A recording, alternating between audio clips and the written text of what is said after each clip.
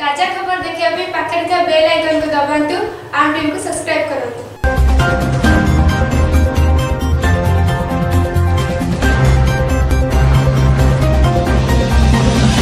ଆଜି ଆସିବ ଦିଲ୍ଲୀ ରାୟ ଆଜି ସ୍ପଷ୍ଟ ହୋଇଯିବ ଦିଲ୍ଲୀରେ କାହାର ଚାଲିବ ରାଜ କିଏ ଦଖଲ କରିବ ଦିଲ୍ଲୀ ଆଜି ସକାଳ ଆଠଟାରୁ ଏକୋଇଶଟି କେନ୍ଦ୍ରରେ ଭୋଟ ଗଣତି ଆରମ୍ଭ ହୋଇଛି ଏଥିପାଇଁ ବ୍ୟାପକ ସୁରକ୍ଷା ବ୍ୟବସ୍ଥା ଗ୍ରହଣ କରାଯାଇଛି ଦିଲ୍ଲୀର ମୁଖ୍ୟ ନିର୍ବାଚନ ଅଧିକାରୀ କହିଛନ୍ତି ସଠିକ୍ ଓ ଶାନ୍ତି ଶୃଙ୍ଖଳାର ସହ ଭୋଟ ଗଣତି କରିବା ପାଇଁ ସବୁ ବ୍ୟବସ୍ଥା ହୋଇଛି ଏକୋଇଶଟି କେନ୍ଦ୍ରରେ ଆଇନ ଶୃଙ୍ଖଳା ରକ୍ଷା ପାଇଁ ପାରାମିଲିଟାରୀ ଫୋର୍ସ ଓ ଦିଲ୍ଲୀର ପୋଲିସ କର୍ମଚାରୀଙ୍କୁ ନିୟୋଜିତ କରାଯାଇଛି।